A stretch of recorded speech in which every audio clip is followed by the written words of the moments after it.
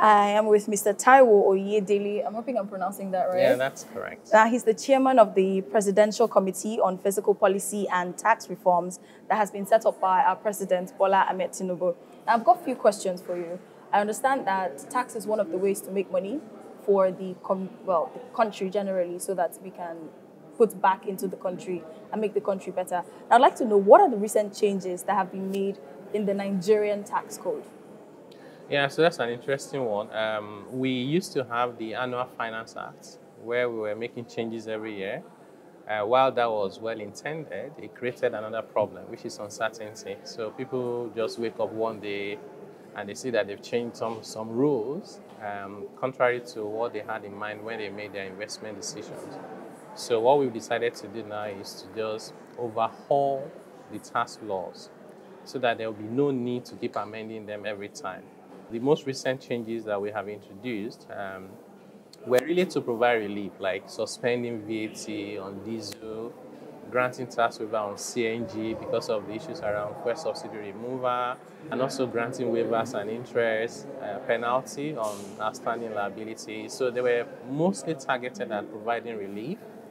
Um, and that we're going to continue. We're hoping to reduce uh, the multiple taxes and levies all over the place to a single digit and then automate the process of paying so nobody harasses you on the road and all of that. Essentially, the trust of what we're trying to do is can we make the environment conducive for everyone and reward people who are trying to do things legitimately by simplifying the process of regulation, permit, approval, paying taxes, rather than what we do now, where we just create the environment for people to do the wrong thing and then get away with it. So we are rewarding bad behavior and we're punishing good behavior. We want to be able to change that. All right, that's actually a very beautiful one. Now, speaking about um, rewarding of good behavior and then punishing bad behavior, what exactly are the things that have been put for this bad behavior, so to speak, when people commit tax fraud?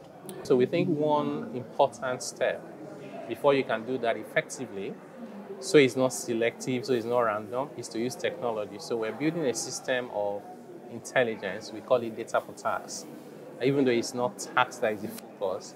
So this is going to collect intelligence within the system, uh, income, revenue, spending, expenditure, savings, and then we put all of that together with all economic activities from import to traveling abroad, getting employment, so we actually know what our people are doing, not like anybody is trying to get private data, right?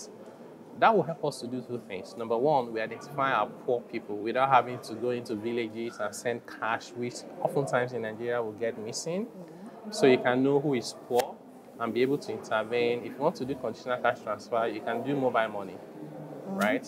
Uh, you can transfer to them directly. Number two thing that will help us to do we'll see people who have the ability to pay and they're not paying their fair share. True. And those guys are in the large percentage. We think that the poorest people and small business owners have carried the burden of tax in Nigeria for many years. It's time for them to rest. Let people who should have carried it all along now take it forward from here. So we are rewriting the personal income tax law we're increasing the exemption threshold for individuals in terms of their income and for even small businesses where they won't have to pay any tax, whether it's VAT or income tax, so they can just have the ability to earn a good living without having to do anything untowards. And that, of course, will speak to the vast majority of our people uh, if you're able to address that. And that's our goal.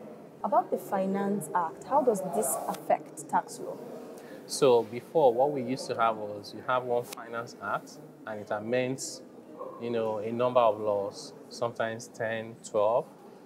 Um, what we're doing now is the things that we have to do urgently, we've included them in a bill we call Emergency Economic Intervention Bill. Okay.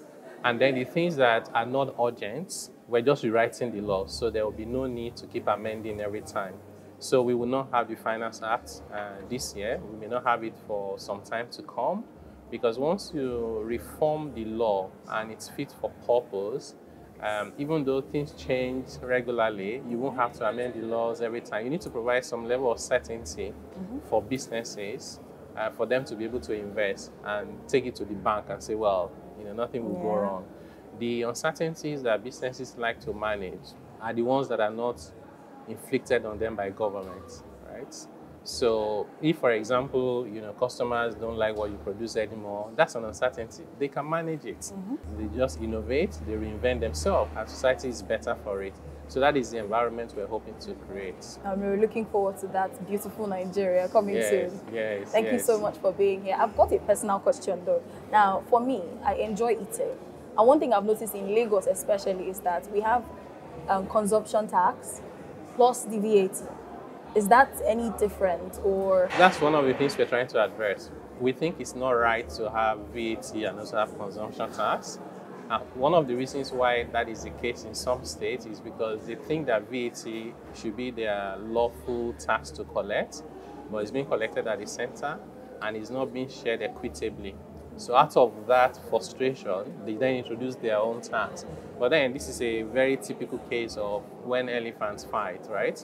So the center is agreeing with the subnational and then the people bear the brunt. That cannot be right. Mm-hmm. So what we're trying to do now is to get the states and the federal government to align. We're going to tell them what we think is best for Nigeria using data to drive it and global experience. And that's one of the reasons why we even want to amend the constitution, make it clear who should collect it, and nobody should have to duplicate that tax in any other form under any disguise. So I would say, fingers crossed, very soon that should go away so you fingers can crossed. eat your food in peace. Please, I would love that. Thank you so much for coming Thank on. you for having me. Thank you.